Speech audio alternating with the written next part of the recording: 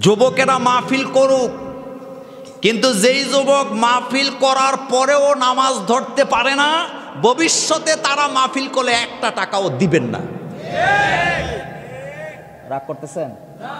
আপনারা তো নামাজ পড়েনি। আপনাদেরকে বলি না। বহু পোলাপাইন আছে। মজার কথা বলি এক কমিটি একই বছরে তিনটা মাহফিল করছে। একবার মোল্লা নাজিমরে দাওয়াত দিছে। একবার ডক্টর আবুল কালাম আজাদ বাসারকে দাওয়াত দিছে, একবার তারেক মনোহরের দাওয়াত দিছে। তো একজন আমাকে ফোন করে বলতেছে যে, ভাই, একই বছরে তারা তিনটা মাহফিল করছে আর একটা করবে। এখন আমাকে দাওয়াত দিতে চায়, বলেন তো তাদের আচরণ কেমন? আমি শুই না, আশ্চর্য হয়ে গেলাম। একই বছর, একই জায়গায় মাহফিল হওয়া দরকার কয়টা? কিন্তু করতেছে কয়টা? আমার মাথা একটু ভিন্নভাবে বিষয়টা খেললো।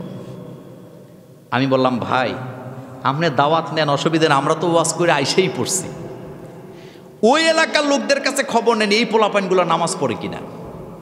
পরে খবর নিয়ে দেখা গেছে, এডি একটাও নামাজ পড়ে না। এদের ওয়াজের কোনো দরকার আছে? ওয়াজ আগে না নামাজ আগে? ওয়াজ তো আমার প্রতিদিন মিম্বরেই হইতেছে। হয় না? হ্যাঁ তাফসির মাহফিল হবে, সিরাত মাহফিল হবে বা এই ধরনের ওয়াজ মাহফিল দরকার আছে। এটা আমাদের জন্য ইমানে চার্জ হয়। কি হয়? কিন্তু আমার অনুরোধ থাকবে, যুবক ভাইদের প্রতি, যুবকরাই মাহফিলের আয়োজনগুলি করো।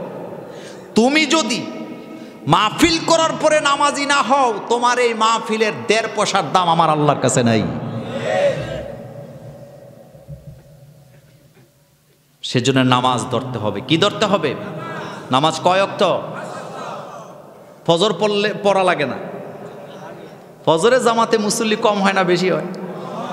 না, নামাজ পড়বেন। বলতেছিলাম আজানের কথা। অরফানা এলাকা জি করাক রাসুসাল্লামের নাম আজানে নাই। বলেন তো, শব্দটা কি? হ্যাঁ?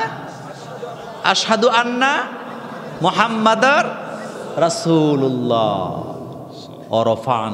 লাকা জিক্রক রাসুলের নাম তো সর্বত্র ছড়ায় আছে।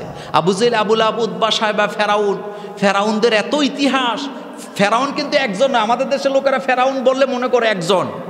মিশরের ডিকটেটর যারা ছিল, তাদেরকে কি বলা হয়? ফেরাউন বলা হয়, ইজিপ্তের রাজা।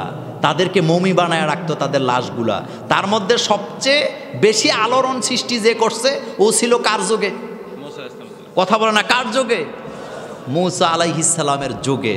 সুতরাং বলছিলাম, ফেরাউনের ইতিহাস, তার জীবনী মানুষকে পড়ায় লাভ নেই।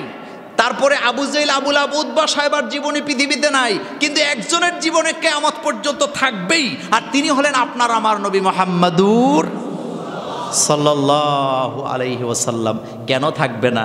কারণ তিনি মানুষের কল্যাণে কাজ করেছেন, তিনি সমাজের কল্যাণে কাজ করেছেন, তিনি মানুষ, ধর্ম, বর্ণ, নির্বিশেষে দেশি, বিদেশি, আরবি, আজনবী, তারপরে বাংলাভাষী, আরবিভাষী, ফার্সিভাষী, সকল ভাষার লোকদের জন্য কাজ করেছেন মোহাম্মদুর রসুল্লাহ সাল্লাহ সাল্লাম যার কারণে আল্লাপাক বলছেন, অরফানা জিক্রক আপনার নাম তো আমি সর্বত্র ছড়ায় দিয়েছি।